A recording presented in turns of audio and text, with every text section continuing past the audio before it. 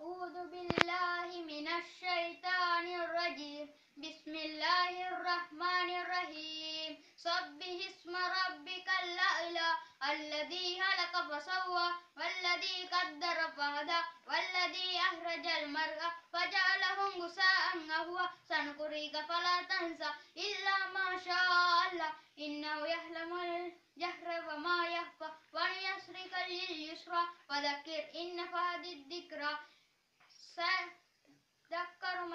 يخشى ويتجنبها الأشقى الذي يصلى النار الكبرى ثم لا يموت فيها ولا يحيى قد أفلح من تزكى وذكر اسم ربه فصلى.